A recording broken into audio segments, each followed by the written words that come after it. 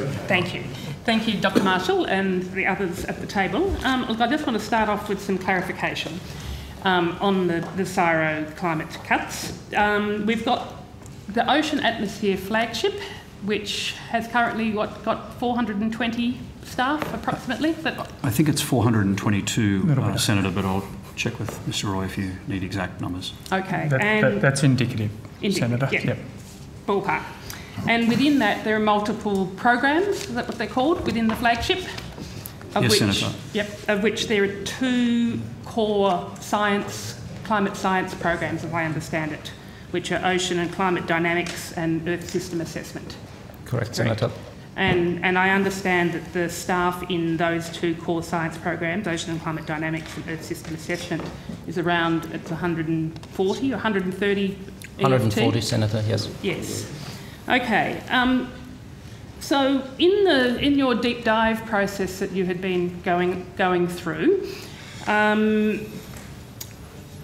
what was the within that process?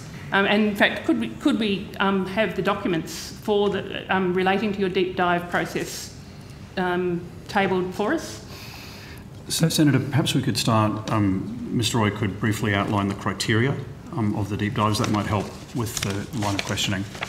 So mm, I'm very happy to do that. The Senator, the difficulty with us tabling in full the documents that came through, a lot of them are commercial in confidence because they actually pick out target companies that we're seeking to partner with, target organisations. So it is a little bit like a prospectus that we're asking these business units to come up with in terms of in terms of what they were. So Well, could we have um, yeah, redacted versions of them? We'll take that on notice, Senator, to see the basis of that, because we also asked those leaders to comment around capability areas that they would expect to grow and shrink. And given that they were evolving and part of part of a discussion to inform a discussion, where we haven't gone forward with those changes, I think it would be inappropriate to staff to share to share that at the moment, given it's not an action that's going to be going to play through. So I think we need to be very careful. We'll take it on notice, though, Okay. Senator, we might, what we we might, might put in an order for production of documents and then that process, you'll go through that process and work out what would be appropriate to be able to share with us.